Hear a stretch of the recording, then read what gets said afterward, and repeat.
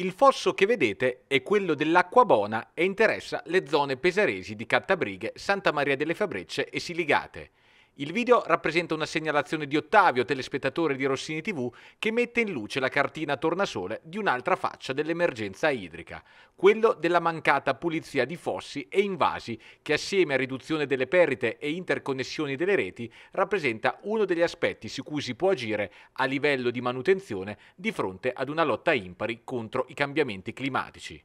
Pulizia degli invasi che è stata anche al centro di una mozione supportata da Marta Ruggeri e Andrea Biancani, accolta ieri dal Consiglio regionale. Un elemento che può dare un'assistenza in più ad una situazione che vede aumentare i consumi d'acqua mentre diminuisce la portata dei fiumi. Su tutti il Metauro che continua in un calo allarmante e costringerà a breve all'apertura dei pozzi di Sant'Anna e del Burano che un anno fa furono aperti a metà luglio.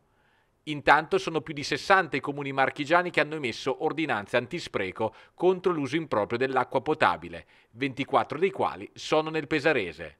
Per giovedì è previsto un temporale, ma se non dovesse dare il ristoro sperato, diventa più che un'eventualità la richiesta della Regione Marche al governo dello stato d'emergenza.